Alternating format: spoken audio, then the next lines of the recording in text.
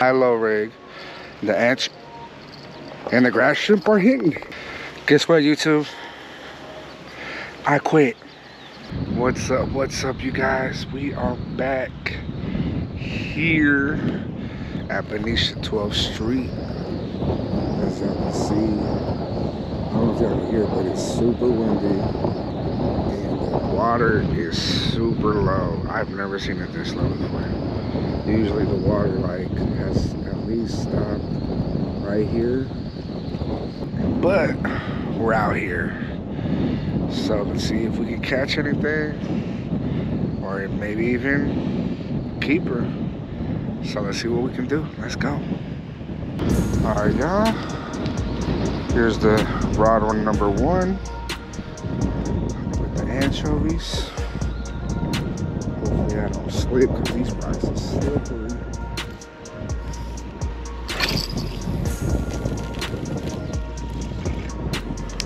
Uh, for my second rod, got a high, low, grass shrimp.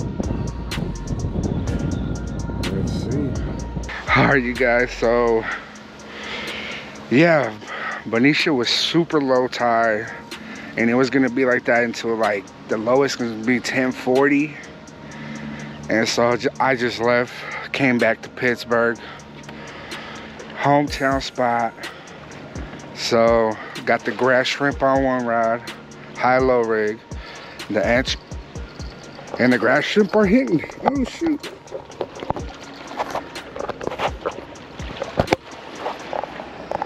And the grass shrimp.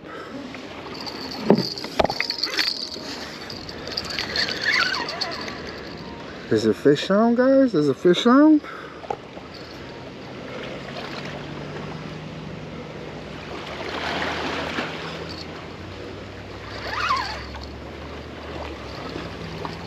So how I was saying before I was interrupted, got the grass shrimp on a high-low rig and then the anchovy. So let's see how we do here in Pittsburg. Let's get to it. All right, man. So I definitely learned my lesson, especially if you a dedicated fisherman, you like to fish a lot, check the tide, check the weather, the wind, etc. Because I show up to Benicia, and as you saw from the beginning, super low, extremely low. Never seen it like that before. And it was gonna still drop even lower for like the next two hours. And high tide is not even until like six o'clock. So I left Benicia and came to Pittsburg. See what we can do out here. Crap, y'all.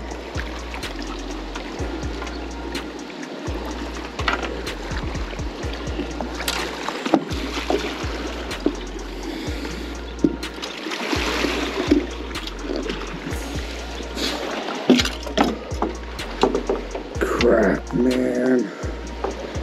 This day sucks. I'm going home.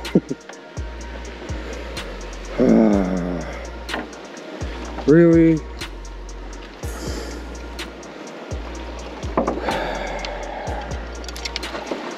You gotta be kidding me.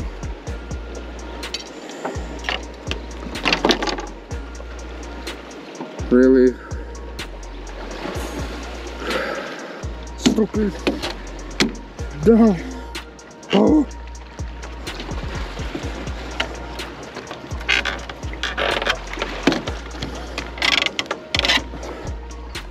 Yep. Freaking, freaking quit.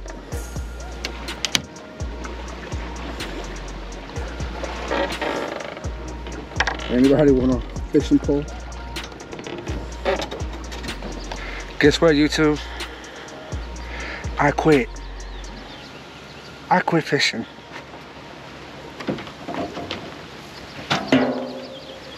I'm done. So obviously, that's just a joke, guys. I do not quit.